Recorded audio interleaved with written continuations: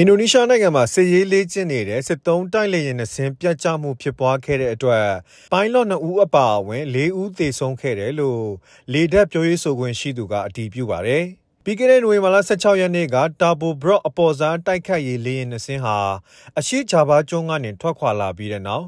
စစ်ရေးလေ့ကျင့်နေစဉ်အတွင်းနိုင်ဝက်အကြမှာပဲဆက်သွယ်ရေးပြတ်တောက်သွားခဲ့တာပါ။ တိုက်လေရင်နှစင်းပြတ်ကျပြီးတဲ့နောက်လေရင်မှု2ဦးနဲ့တွဲဘက်လေရင်မှုတို့ရဲ့ရုပ်အလောင်းတွေကိုဂျာဘာရှေ့ဘက်မှာရှိတဲ့ဘိုရိုမိုတောင်အနီးမှာတွေ့ရှိခဲ့ပြီးလေရင်တွေဟာမက်ဆောက်တဲ့တောင်ဆောင်ကိုဝင်တိုက်မိတာဖြစ်နိုင်တယ်လို့သုံးသပ်မှုတွေရှိနေပါတယ်။ စုံစမ်းစစ်ဆေးသူတွေကတော့လေရင်ပြန်တမ်းမှုအတန်ဖန်းဆက်တွေနဲ့လေရင်ရဲ့တခြားအချက်လက်တွေကိုစစ်ဆေးနေတဲ့အတော်အတွင်း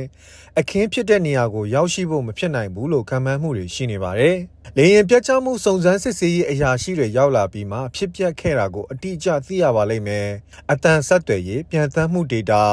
engine data နဲ့ဗီဒီယိုတို့ပါရှိပါလိမ့်မယ်လို့အင်ဒိုစစ်ရေးပြောရေးဆိုခွင့်ရှိသူကပြောခဲ့ပါတယ်။ အင်ဒိုနီးရှားလေတပ်ကတော့စစ်ရေးလေ့ကျင့်နေတဲ့တိုက်လေယာဉ်နှစင်းပြတ်ကျမှုဖြစ်စဉ်အသေးစိတ်ကိုလက်ရှိအချိန်ထိထုတ်ပြန်ထားတာမရှိသေးပါဘူး။အင်ဒိုနီးရှားနိုင်ငံဟာကျွန်းထောင်ပေါင်းများစွာကိုဆက်သွယ်သွားလာဖို့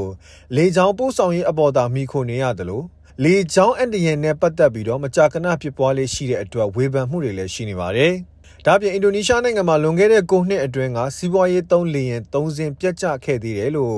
သိရှိရပါတယ်။ ကျွန်တော်အောင်မျိုးမြတ်ပါဒီသတင်းကို AFP သတင်းဌာနမှမိညံကိုကားတင်ဆက်ပေးထားပါတယ်။